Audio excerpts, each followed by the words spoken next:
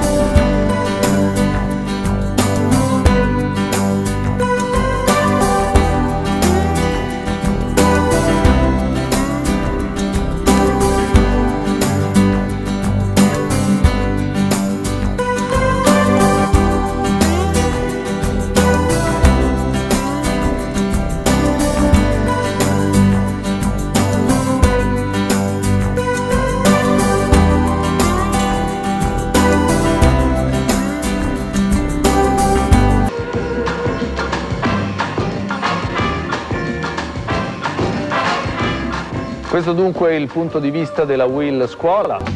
Negli anni 60 il 42% degli italiani non possedeva alcun titolo di studio. Il 42% della popolazione aveva la licenza elementare. Solo il 10% aveva ottenuto la licenza di scuola media inferiore.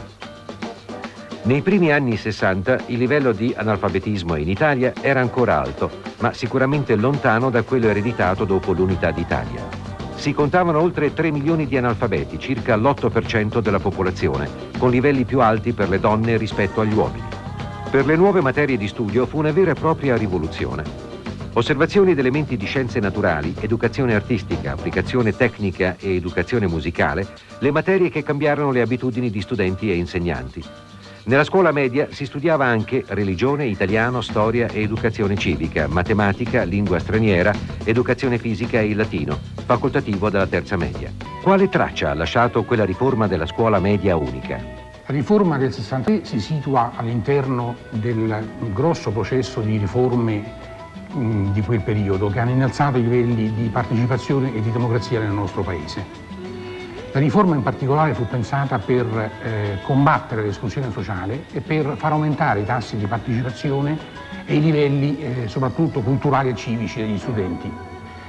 E era caratterizzata soprattutto eh, dal fatto di rendere effettivo l'obbligo scolastico, ad esempio prevedendo eh, sezioni di scuole medie in tutti i comuni, poi la scelta fra continuare o non continuare gli studi e dove continuarli fu portata effettivamente a 14 anni, da 11 che era prima. Infine eh, fu cominciato anche a darsi avvio alla integrazione dei disabili e non ultimo e estremamente importante fu la eh, partecipazione e la condivisione da parte dei docenti in quanto fu preceduta la riforma da un'ampia e diffusa sperimentazione. Firmato il nuovo contratto della scuola. Di questo parliamo oggi con eh, la Will Scuola. I nostri ospiti sono Massimo Di Menna, Mario Ricciardi, Anna Maria Miceli e Franco Sanzotto. Buongiorno a loro e benvenuti. Il nuovo contratto prevede un incremento delle risorse da destinare ai fondi di istituto, eh, voi però eh, sottolineate l'esigenza di rendere più tempestiva l'erogazione di queste risorse per poi permettere alle scuole di spenderle. Sì, questo è un problema che è stato molto evidente e che ha assillato le scuole per tutto questo quadriennio di vigenza contrattuale. Abbiamo posto le premesse per eh, migliorare questo aspetto per due motivi.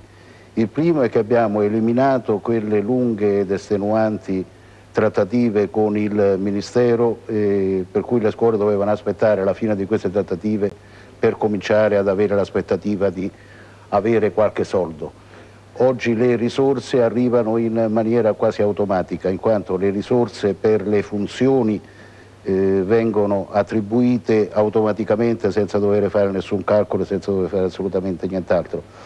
Mentre le risorse del fondo eh, essendo costituite sulla base di parametri già noti e già predisposti, eh, dovrebbero accelerare anche questi problemi legati alla tempistica. Con un sindacato importante, uno dei più importanti, la WIL, abbiamo in studio il segretario confederale Antonio Foccillo, buongiorno segretario. Eh, Noemi Ranieri invece è segretario nazionale WIL Scuola, Buongiorno dottoressa Ranieri. Buongiorno. E poi c'è Guido Fantoni, presidente dell'ARAN. adesso vedremo anche delle, ehm, della grafica che ci illustrerà quanto andiamo dicendo. Eh, questo contratto, nella caratteristica di tutti i contratti che si rinnovano biennial, biennalmente, eh, porta delle modifiche soltanto di tipo economico e finanziario, non ha effetti Quindi cioè sulla un normativa. milione di persone intanto? Un, sì, quasi un milione e duecentomila, cioè 850.000 eh, docenti e 250.000 ATA circa. Allora, sono 130 gli euro a disposizione, adesso cerchiamo di, vedere il, di spiegare i, i, i la sì. grafica e così poi in, dopo parliamo più in generale. In questa grafica possiamo vedere come l'aumento di un docente di scuola secondaria di primo grado, cioè di scuola media, potrà percepire un aumento di circa 120 euro e di 2.370 di arretrato.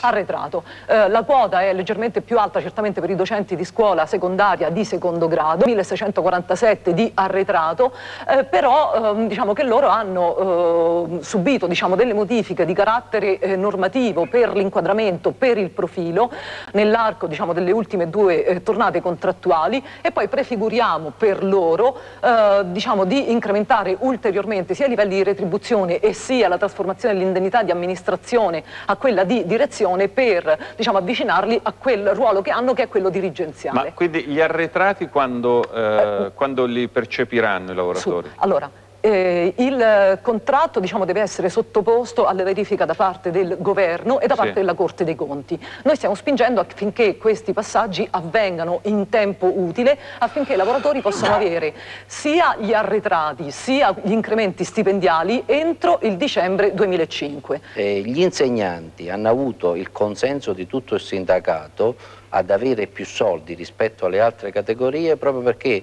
ritenevamo che fosse giusto per l'importanza che loro hanno anche per lo sviluppo e per la competitività del Paese. È una funzione centrale per un Paese come il nostro che deve puntare sul sapere. Buongiorno, benvenuti a 10 minuti di. Esiste una scuola italiana anche all'estero e di questo oggi parliamo con Will Scuola, rappresentata da Angelo Luongo, responsabile del Dipartimento Estero. Buongiorno Luongo. Dal professor Giorgio Salerno, che per la verità è un dirigente scolastico attualmente al Ministero degli Esteri, e da Assunta Fattori, che è una, anche lei un insegnante, una docente di lettere alle scuole medie e hanno avuto tutti esperienze di lavoro all'estero e quindi ci racconteranno anche un po' la loro esperienza. Però prima di andare avanti io vorrei che la regia ci facesse vedere questa scheda che introduce bene i temi che affronteremo in questi dieci minuti.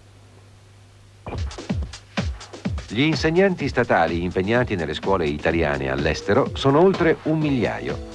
Le risorse necessarie ai loro stipendi sono a carico del Ministero degli Esteri. Nelle stesse realtà scolastiche lavorano anche migliaia di insegnanti assunti localmente a carico delle scuole stesse. La maggioranza del personale lavora in Europa. I giovani che studiano in classi dove si parla l'italiano sono 12.500 circa. Gli studenti stranieri nelle scuole italiane sono oltre il 70%. I corsi di lingua e cultura italiana nel mondo sono seguiti da circa 500.000 ragazzi, di questi 400.000 nel mondo e 100.000 in Europa.